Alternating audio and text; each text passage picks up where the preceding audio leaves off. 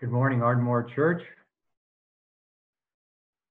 We are glad to have you this morning. Thank you, Elizabeth, for that wonderful uh, preparation for worship, and it is good to be together.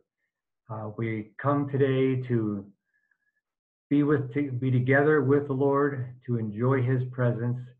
And I just want to uh, do this prayer, Lord. We are glad to be in Your presence, and we look forward to this time in Jesus' name. Uh, amen. We'll now have the chiming of the hour.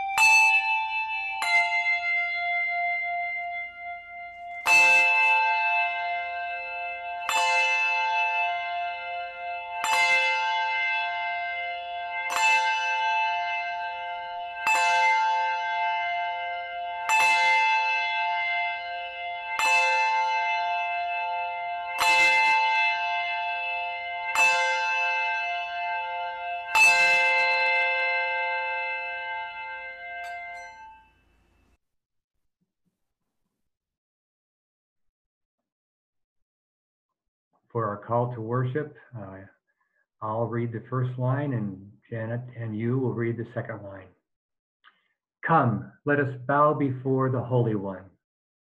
Come, let us confess God's might. Come, let us feel God's mercy. Come, let us live in God's light. As God's people, we lift our voices in praise. Glory to you, gracious and loving God. Amen.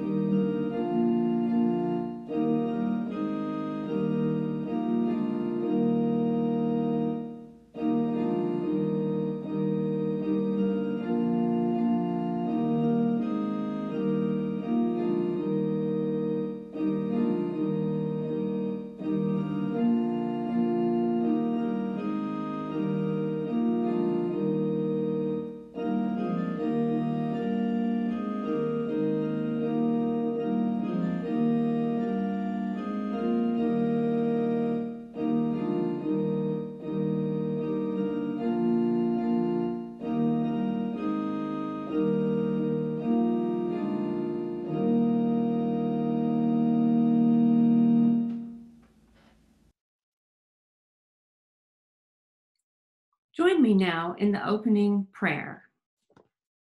Gracious Lord, how shall we do your will today? Will it be in acts of praise, in gifts shared, in prayers lifted? Who will you lead us to serve? Help us to trust you. Help us listen. Bless this community as we come together in worship. Encourage us, comfort us, unite us, make our joy complete. Amen. It's time now to gather the children around and have Wayne Davis give the children. Hey, good morning, everybody. Let me turn my video on here. I don't know why I don't have that on. okay. I've got Brandon here with me. Hi. and you might be able to hear my other two in the background. Unfortunately, the nursery's closed too. so I wanted to kind of use Brandon with me today to talk a little bit about um, our children's story, which is Matthew chapter 21, verses 23 to 32. Um, and I've got something with me here to help demonstrate it. So I wonder if you know, Brandon, what this might be. And I think maybe this might not be the best example because I think you already know what this is. But right here, It's a it's a case. it's a case, right? So inside that case um, is a musical instrument. Now I can take it out. I can make songs with it. You know, I can do everything I have to do. I can move my left hand over the frets. I can move my left hand over the frets. I can do kind of different things that will help me to be able to play the instrument. But I'm sure you can imagine from my description, you know, exactly what that sounds like and exactly what that what that is. So let's move on. Wait, no, no, no. Play it. I want you to play it. Well, maybe let me show it to you. How's that? I'll show it to you. I'll show everybody. So there's the guitar. Leave it in here, okay? Now there you go. You've seen it. So come on, have a seat. Have a seat. Have a seat. So you've seen it. Um, now that you can see it, that takes care of things, right? There's nothing else I have to do. You know I know how to play that. You don't need me to play it, right? Right? Do you need me to play it? All right, I guess I can pick it up and I can show you what it would sound like. Um, so here, hold this for me. All right, and then show, let's show everybody what this might sound like. Some of you might already know what this sounds like. All I do here is move my left hand over the frets, and I can play different notes. And I string them together, and I make chords. So now you know exactly what it sounds like. Like E, F, G. You got it. So those would be the chords that I can play. So sometimes it's it's enough just to talk about things, Brand. Sometimes it's enough just to say, you know, exactly what it is. But sometimes we actually have to do them, don't we? Yes. Yeah. So I can talk about the guitar all day long, but you don't. You're not interested in me. You're not interested in me talking about the guitar. You want me to Play it. you want me to play it, right? Nobody really wants to just look at somebody holding a guitar. You want to be able to play it. So it makes a lot more sense anyway when you do play it to hear what it sounds like. Well, did you know that in some ways our faith is exactly like that? Yeah, I know that from children's story last year. So you knew that from children's stories in the past. Well, we we want to do more than just talk about our love for God and for other people. We should be living it out too, shouldn't we? Yeah. We shouldn't just talk about it. We should be living yeah, it, we right? should we should be living it. Well, Jesus discussed that a lot. And in today's gospel, some Pharisees, those were the guys who thought they had things all together and always wanted to worry about rules. Well, they walked up to Jesus and they asked him how he acted with such authority. They were trying to trick him, they were trying to trap him, right? And Jesus wasn't going to fall for that. So, what Jesus did was he gave a parable, and parables are something we've been talking about a lot. So, Jesus gave this parable, and I'll point this to you. Jesus gave this parable to demonstrate that the Pharisees were doing a lot of talking, but they weren't doing really anything. They weren't doing anything. They, were just talking about it. Well, we don't really go to jail for just, you know, not doing anything and just talking about things. But in this case, they were doing a lot of talking, but they weren't doing anything really to do it. You know what I mean? You know what I mean? Yeah. So Jesus told them this story. He said that there's a man that has two sons, and he asked both of his sons to do some work for him. So he asked both of his sons, hey, you know, maybe it was something like this. There are some leaves outside by the tree. Can you two, maybe, can you go and rake those leaves, Brandon? And one of the sons said, you know what? Sure, I'll go rake the leaves for you. No problem. I can do that. And um, before he found out that that son could do it, he went and asked his other son, who was busy doing something else. He went and asked his other son, and his other son said, You know what, Dad? I don't think I can do it. I can't do it. But his other son thankfully said, Yeah. So obviously, which one of the sons do you think the dad appreciated more? Are the ones that said yes. The one that said he could do it, right? Yes. The one that said he could do it was the one that dad was like, okay, great. I have somebody that can do this work. So Yes. what here's what really happened, Brandon, and this is gonna blow your mind.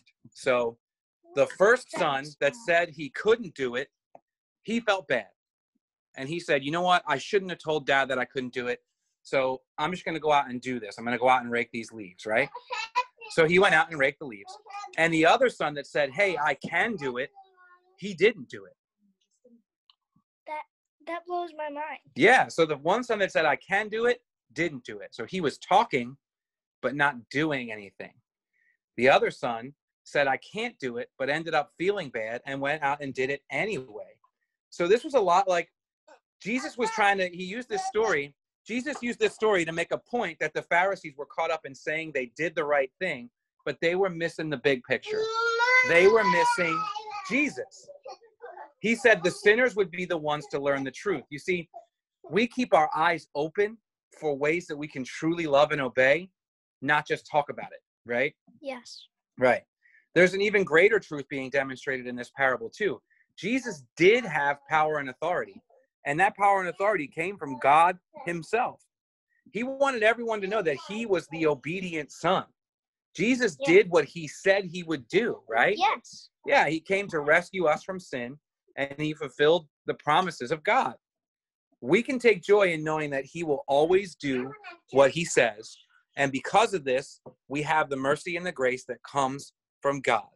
We want to pass that along by truly living out our love and serving others. Can we pray together? Let's say a quick prayer. Here we go. You can repeat after me each line. Dear God, Dear God, thank you for sending your son. Thank you for sending your son. He truly is who he says he is. He truly says who he says he is. Help us to be genuine in our actions Help us to be genuine in our actions and to live out our love with one another. and to live out our love with one another. Thank you for your love. Thank you for your love. We love you, God. We love you, God. In Jesus' name we pray. In Jesus' name we pray. Amen. Amen. Thanks, everybody. Sorry for the excess noise in the background. Thank you, Wayne, uh, very much. We enjoyed that. Um, well, now it's time for our joys and concerns. And um, I like, Katie, you're really good at explaining this, what, how people get on. So for the sake of those who might be new to us, uh, why don't you go ahead and explain uh, how we will uh, proceed? Um, so it's really easy for me to see you if you raise your hand virtually through the Zoom um, program. So where we all have our toolbar with mute, start, stop video, um, and there's like a green share screen button. If you hit the participants, it'll open up a tab for you, and at the bottom of the tab, you have the option to raise your hand. Um, if you're on a, a cell phone, like a smartphone, um, or an iPad, it should be like with the three dots, and then if you click that or click more, it should give you the option to raise your hand, and it shoots you to the top of the list, and I can unmute you then. Thank you so much, Katie. Those three dots are magic, aren't they? okay, anybody have a, uh, a joy or concern they want to share with the family this morning?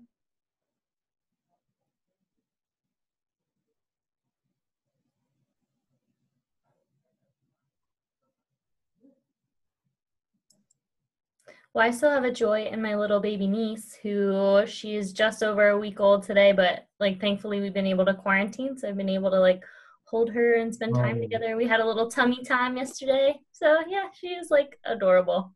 She's a huge joy. That's great, thank you. Hey, Stace, I see. Are you unmuted? Do you have something to share? Sure. I just wanted to um, say, I think it was put out in, in an email, but that um, Pastor Jim McIntyre passed away. And um, he was a big force in the United Methodist Church, our conference, and in our community here in Havertown and beyond. And um, he has a little grandbaby who's just a few months old. So uh, it was a blessing that he got to meet her, him, I'm sorry, um, before he passed away, but it was not expected this way and um, I know his family is is hurting and reeling from this. Um, and he was also a good friend of, of Pastor Tim's. So just to keep everybody in prayer. Thanks, Stacy. Thank you for sharing that.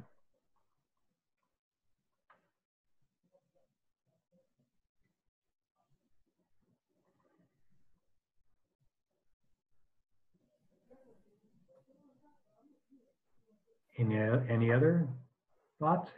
Anybody?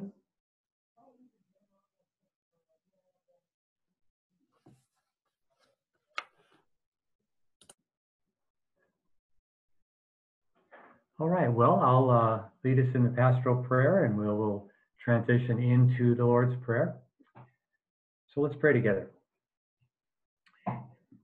Heavenly Father, we um, thank you that we can come to you in prayer.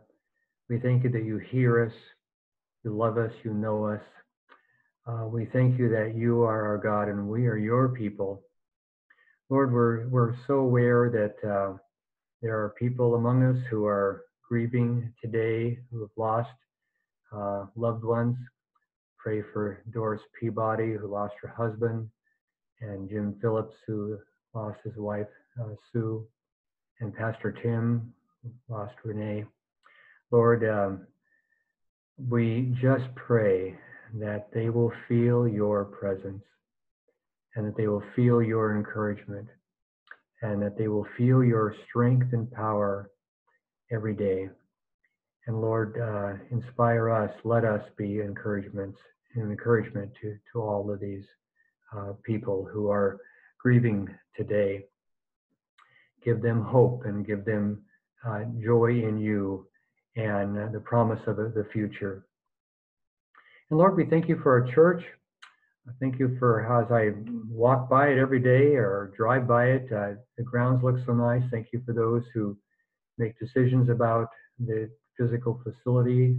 We thank you for those who are engaged in committees that deal with the church's future or uh, just different things about running the church, Lord. And, and we're just grateful for all those who, who, who give of their time to serve you in this way.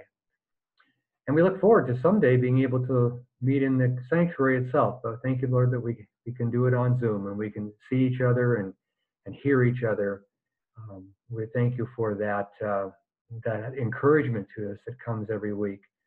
And uh, Lord, as we think about the bigger picture from beyond our church, we do pray for the upcoming election. Um, we would be happy to, if it was wasn't a contested and difficult thing, but would go smoothly. Uh, we certainly are aware of our the pandemic uh, happening right now, and we do pray for the the scientists who are working on the vaccine, and we pray that uh, when it comes out, it'll be effective and be really transformative uh, for all of us, Lord. And, and we just uh, pray your Holy Spirit's working in that. And in the meantime, Lord, uh, protect us from uh, catching the virus. And we just pray for your uh, giving us, don't let us forget our masks and and just let us do be wise in our actions. But Lord, thank you that you are with us. Um, Heavenly Father, we thank you so much for your love and care for us every day. Thank you that your your word is real and your Holy Spirit is real. And we pray that you will use us to evidence your love and care to those around us, our neighbors, our family, and others we might meet. Lord, thank you that uh, you want us to share uh, your word. We're very, very grateful. And Lord, thank you that we can now obey you and pray as you taught us to pray the Lord's Prayer. Let's pray. Our Father, who art in heaven, hallowed be thy name. Thy kingdom come, thy will be done on earth as it is in heaven. Give us this day our daily bread, and forgive us our debts as we forgive our debtors. And lead us not into temptation, but deliver us from evil. For thine is the kingdom, and the power, and the glory forever. Amen. Amen.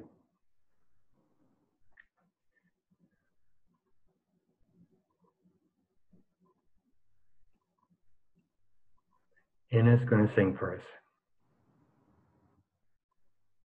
Take my life and let it be consecrated, Lord, to thee. Take my moments and my days, let them flow in endless praise. Take my hands and let them move at the impulse of thy love. Take my feet and let them be swift and beautiful for thee. Take my voice and let it sing always only for my King. Take my lips and let them be filled with messages from thee. Take my silver and my gold, not a mite would I withhold. Take my intellect and use every power as thou shalt choose. Take my will and make it thine. It shall be no longer mine. Take my heart, it is thine own. It shall be thy royal throne. Take my love, thy feet its treasure store. Take myself, and I will be ever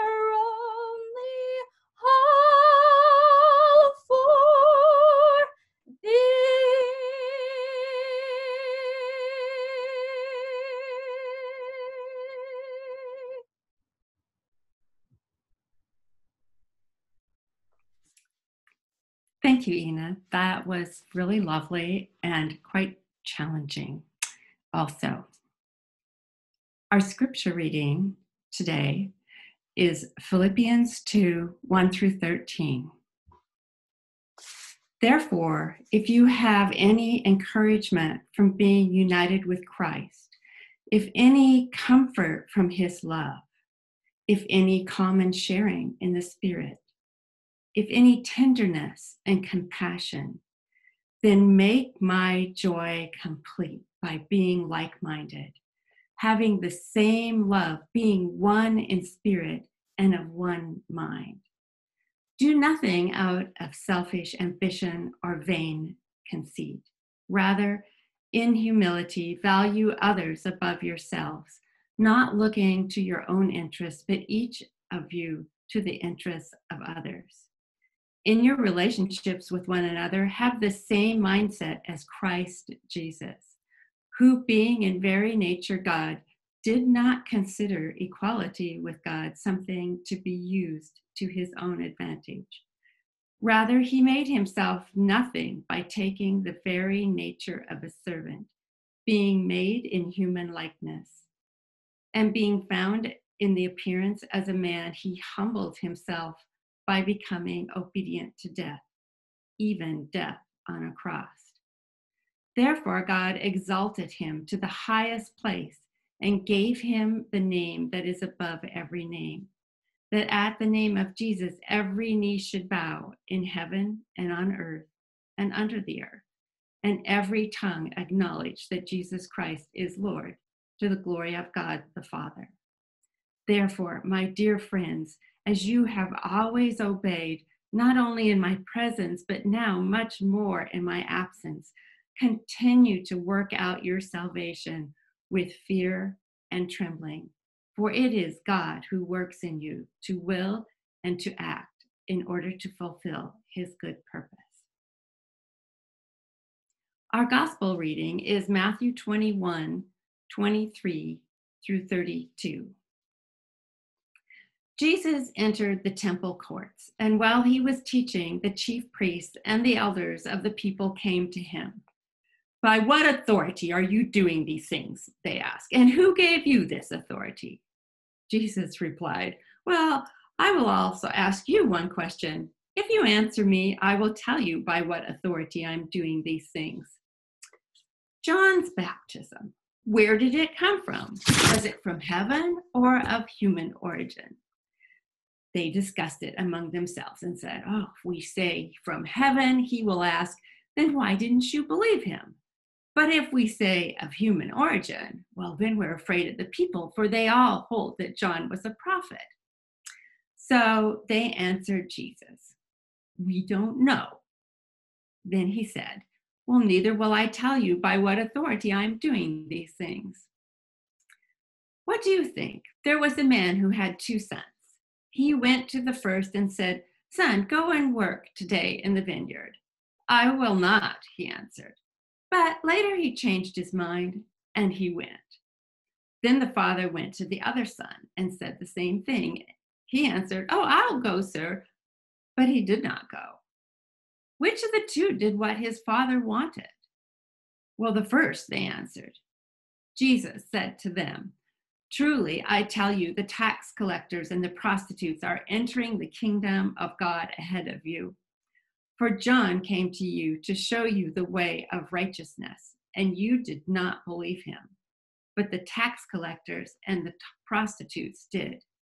And even after you saw this, you did not repent and believe him. The word of the Lord. Thanks be to God.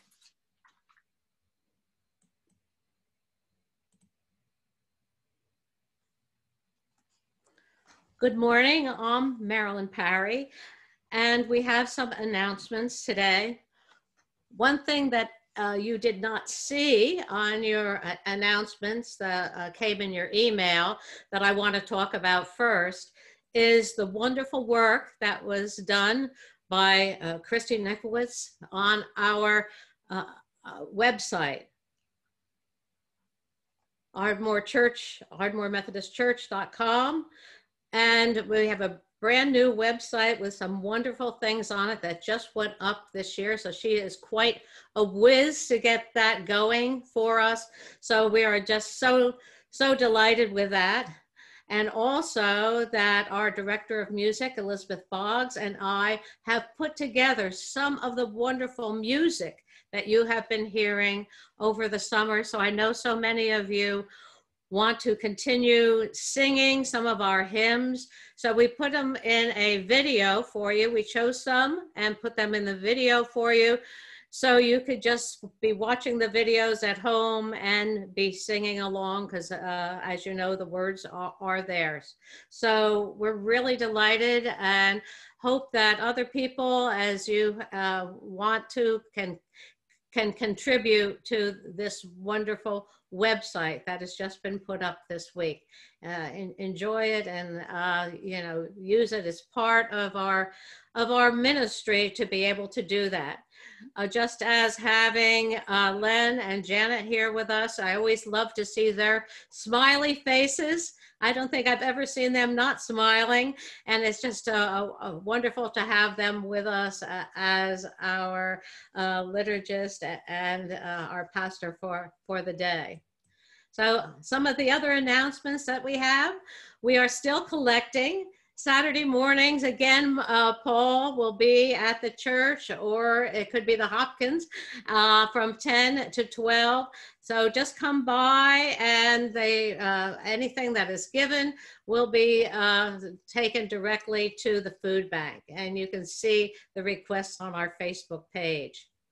So the uh, Staff Parish Relations or SPRC meeting is going to be on Zoom and that will be tomorrow from 7 till 9.30. And uh, contact Katie if you need a link to be able to get in that meeting if you are part of the SPRC. Also, the Administrative Council will be not this Thursday, but the following Thursday, October 8th at 7.30 and the uh, link will be in your email. Mary and Stacy have done an absolutely wonderful job with the online book club and we're going to be uh, selecting a, another book then in the coming weeks. So just uh, stay informed as part of that. And if you need any kind of information about that please contact them. And uh, here are, is their contact information next Sunday, uh, Pastor Tim will be back with us. So we are have a joy with that. And it is World Communion Sunday. Uh, so uh, just be aware that it that it is communion and to uh, you'll get it in your email. I'm sure Michelle will be sending that out uh, to you. Uh, also about make sure that you have everything that you need for communion.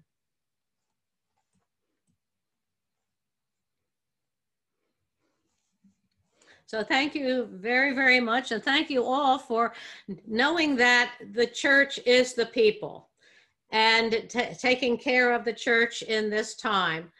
As Len had said, you know, the uh, taking care of the church property, being there for one another, it, that's what it's all about, this community. And so this is the time then that uh, I we all remind each other that you can give online through the website, which is the ardmorechurch.com, by check or money order in the mail, or bring it directly to the church, place it in the mailbox or slot at the door, at the bottom of the door, or you can set it up through your bank and use auto pay. So uh, you've been very, very generous during these times, and uh, it's so, so appreciated to enable us to all to be able to do God's work. Our offertory this morning is Fairest Lord Jesus with uh, Charles Everett French horn and Charlie and friends who are Charlie. So enjoy.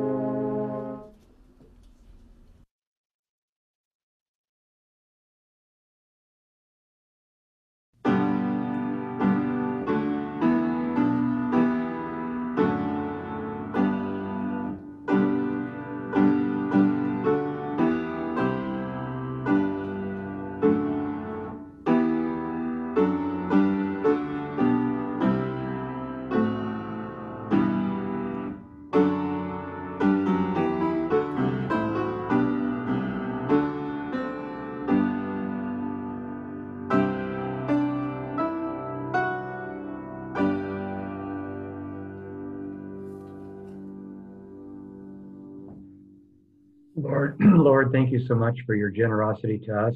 Thank you for resourcing us in so many ways. And we give to you these, these gifts and offerings uh, for the work of your kingdom. We thank you so much that you allow us to be involved in your kingdom's work, both locally and around the world. In Jesus' name, amen.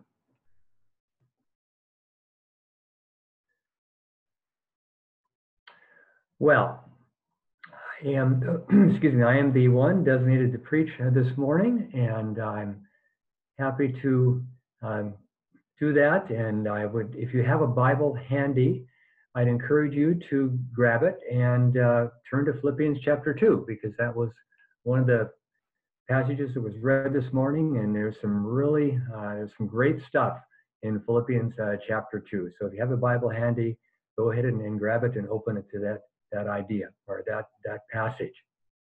Now, I'm gonna, I want to start with uh, asking you a question, a question to ponder. Have, is there something that you have done in your past that as you look back on it now, it seems impossible? Let me say that again. Is there something that you did in the past which, as you think back on it now, it just seems like, oh my gosh, how do, how do I even do that?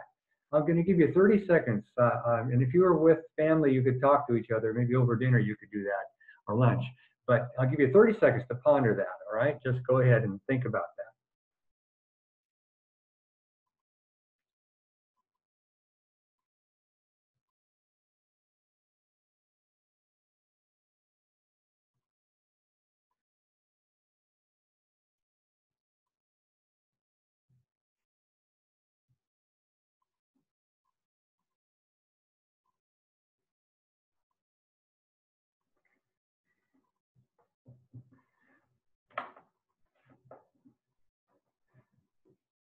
Well, I hope you thought of something and uh, I hope you'll stay for patio fellowship because I'd really like to hear some of these stories about what you did in the past that uh, seems impossible. Now I'll share, I'll, you know, since I'm preaching, I can, I'll share one.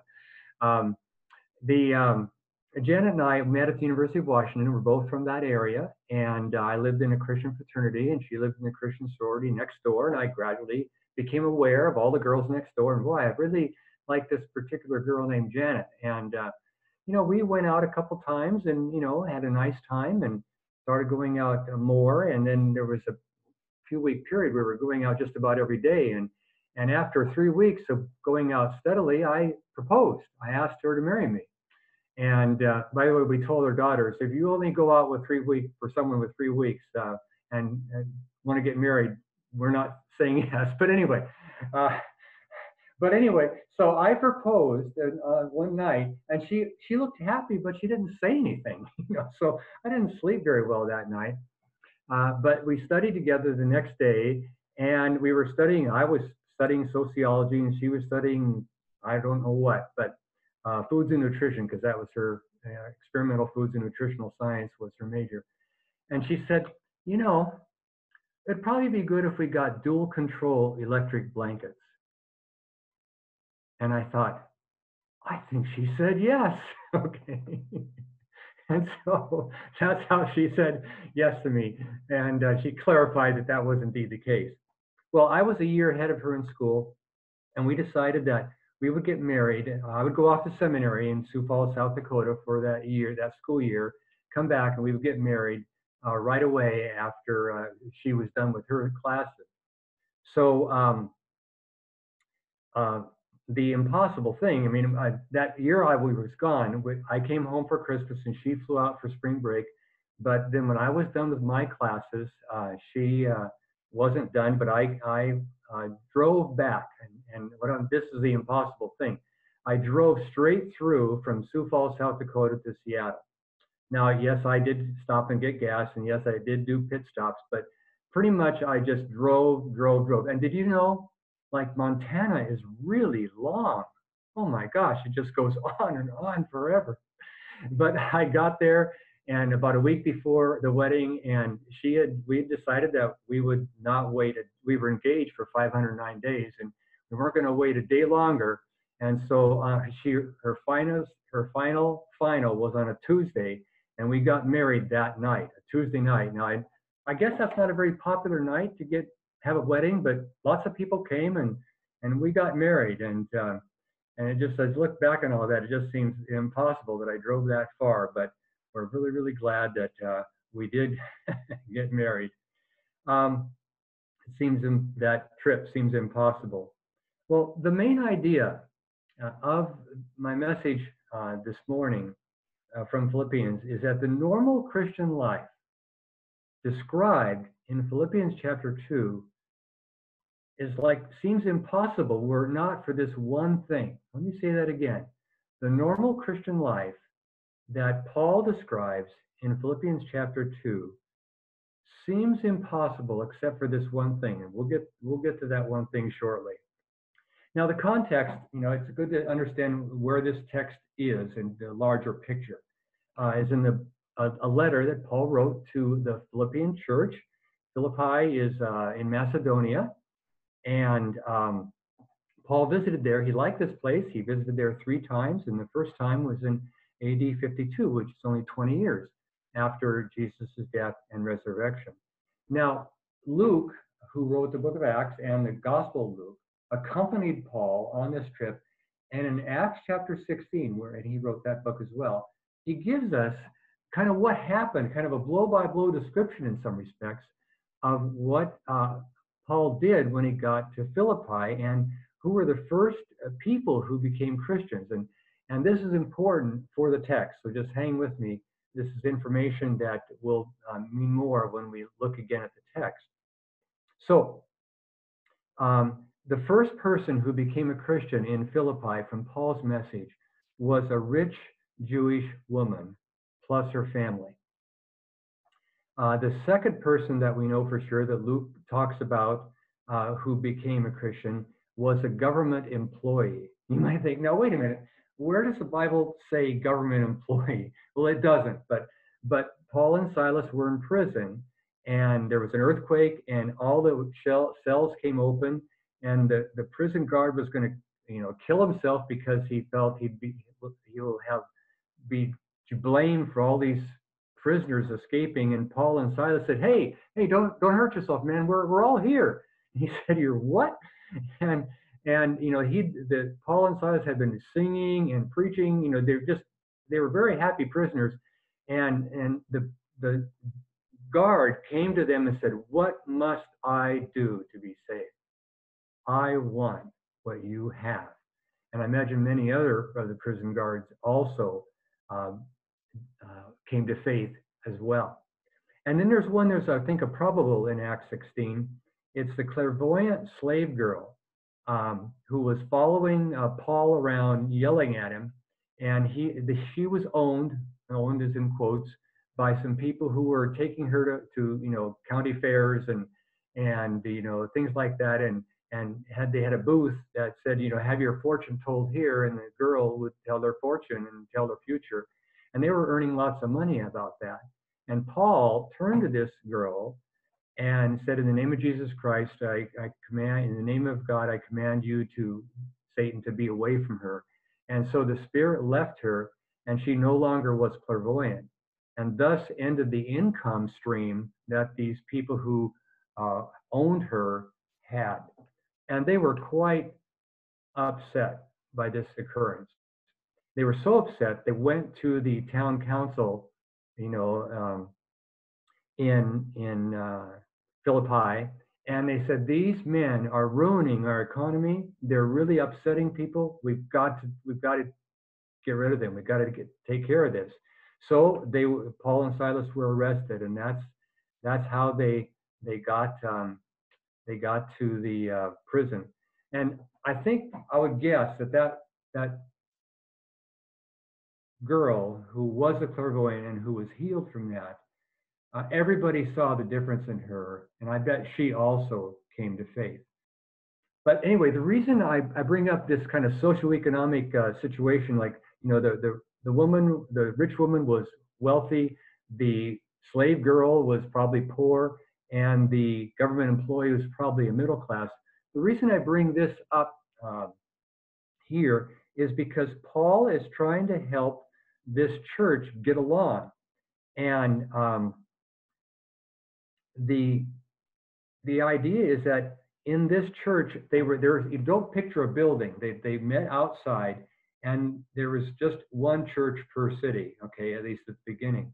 So you had the rich people worshiping right next to the poor people or the the prison guards, you know, that kind of thing. And normally those sorts of, you know, socioeconomic strata things didn't happen. And so it wasn't natural for these people to um, think the same way. And so that's why um, I believe Paul wrote in here, and uh, he says, Then make it my joy complete by being like minded, having the same love, being one in spirit and one mind. Then he says, Don't do anything out of selfish ambition or vain conceit. Uh, in humility, value others above yourselves, not looking after your own interests. And so you picture, you know, at the Philippian Philippian church, you know, a, a rich family standing next to uh, and worshiping with, or trying to worship with, you know, a poor family who is much, much different than them, probably had no interaction with them prior to this moment. So Paul is is saying that in that church, they needed to do these things so they can they can be the church, so they can have unity. But you know, being uh, like-minded isn't always easy, or having humility, or or not having selfish ambition. These things, you know, seem impossible perhaps to us sometime. And so the, the question I want to raise uh, and address is, the Christian life, is it hard to live or is it easy to live? Now it's probably both, of course, but but I think if if we just try to fulfill these this scripture on our own steam, we'll be frustrated and we will fail again and again and again. Uh, living up to this is is is not easy, and uh, happily there is a a verse that uh, solves it, and I'll, we'll get there in just a minute.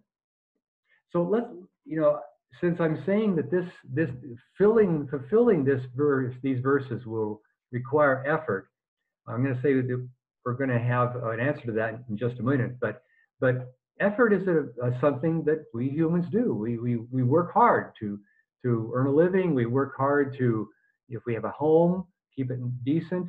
Um, and there's examples of human effort just everywhere, all right? And one that comes to my mind is the Tour de France, which just finished last Sunday. Uh, Janet and I are real, um, uh, we really enjoy the Tour de France. Uh, and you might think, God, it's so boring, you know, sweaty men on their bicycles. I mean, what's, why would, why would you watch that? Well, there's a lot of drama in the Tour de France. The competition, the effort is unbelievably intense. Uh, and there are accidents all the time. Um, like this in this this the tour this year, there's like 200 and some riders. Uh, they sounded the gun and they're all trying to get their positions at the beginning of the race. And there was a big accident, and um, a couple of the riders were so injured that they had to drop out of the Tour de France 2020 after 10 minutes. They spent their entire year trying to qualify and practice for this one event, and now 10 minutes into it, they're gone. And there were there are other accidents. I think of a one uh, rather famous uh, rider uh, hit the pavement hard um, because someone turned in front of him, and I was really glad he had a helmet because his head hit the pavement hard. And this is in stage like six, 14 or 15, so this has been after 2,000 miles of riding. And um, he got on his bike, kept riding, but two days later he had to stop. He was in such pain. They determined he had a concussion, and he he you know what he did? He wept. Uh, the, the the the tremendous effort and the tremendous disappointment they experienced.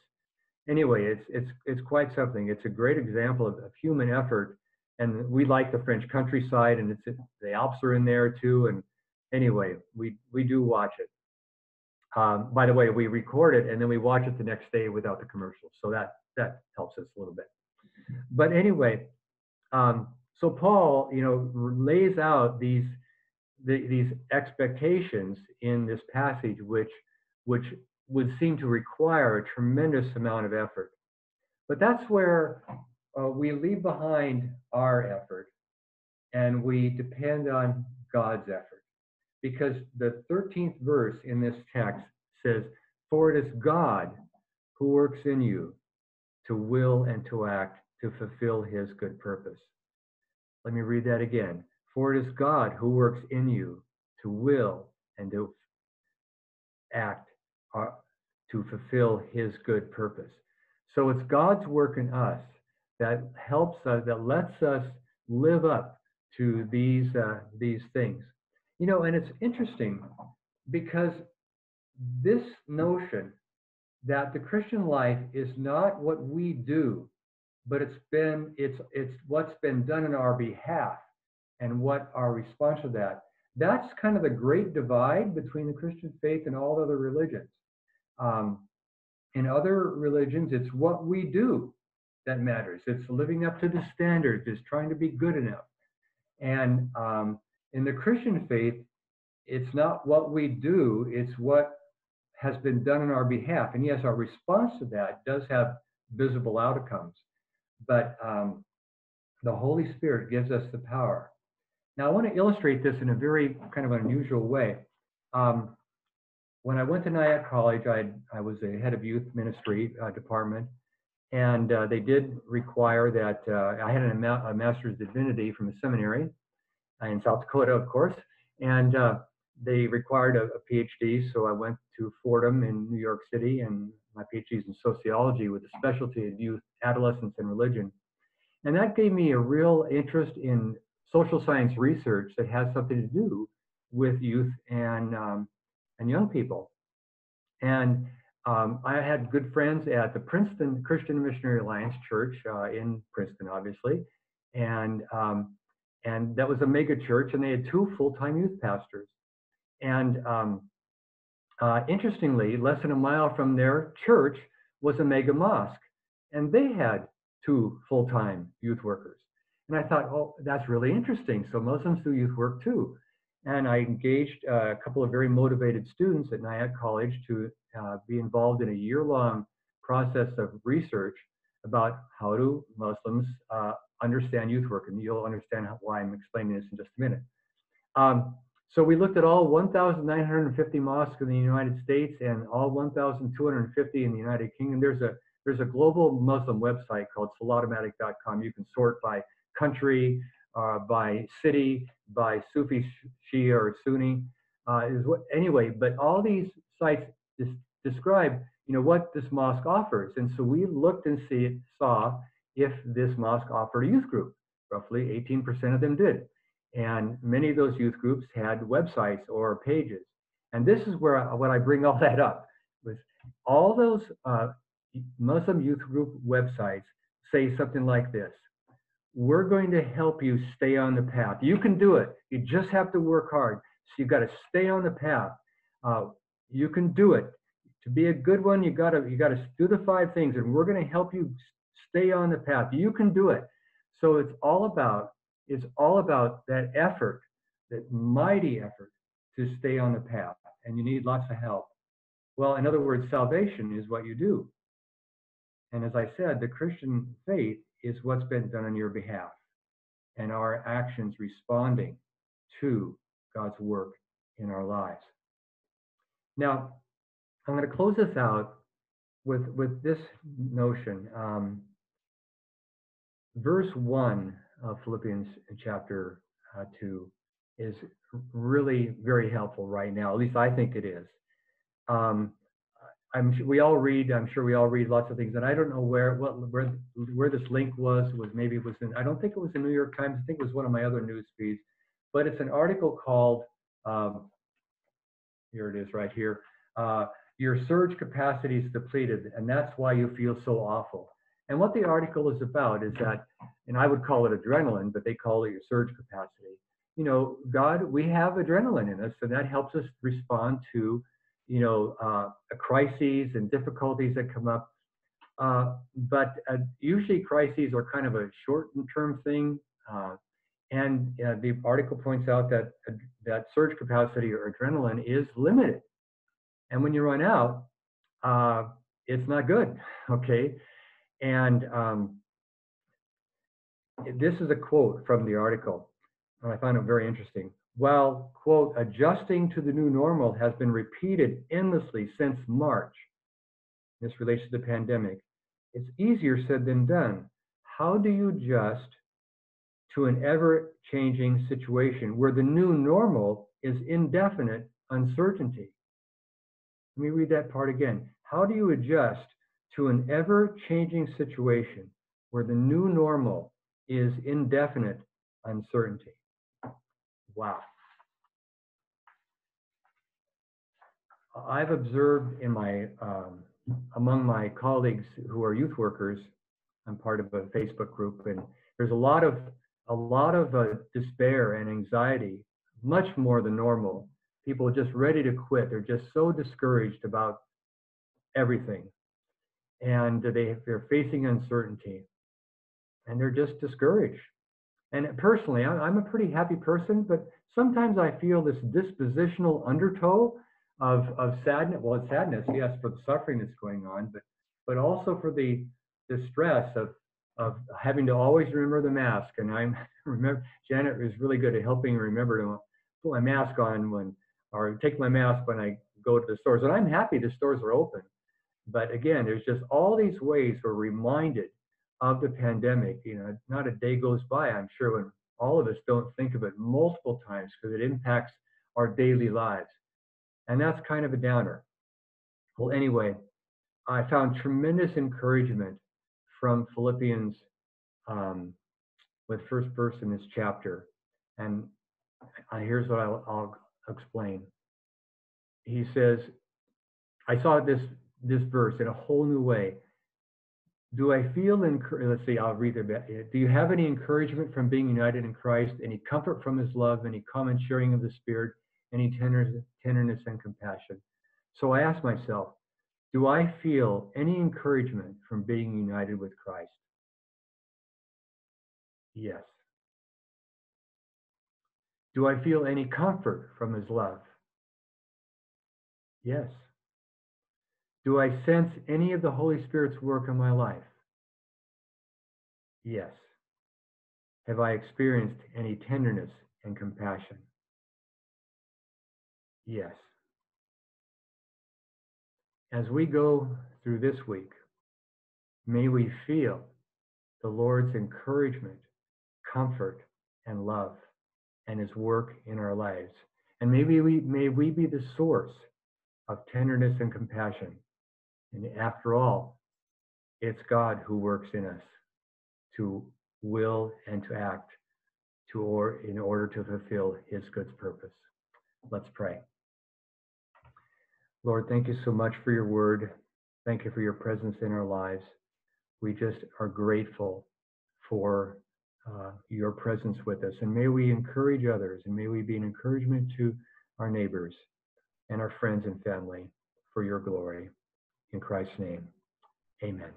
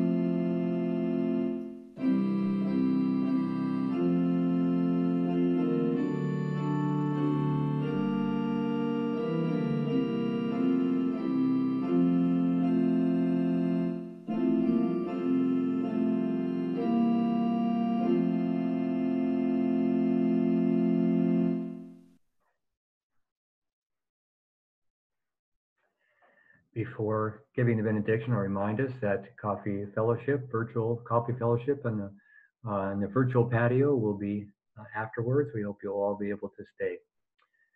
Let's pray. Lord, may we go from this place with hearts ready to serve you and to be filled with your Holy Spirit's presence and power. In Jesus' name, amen.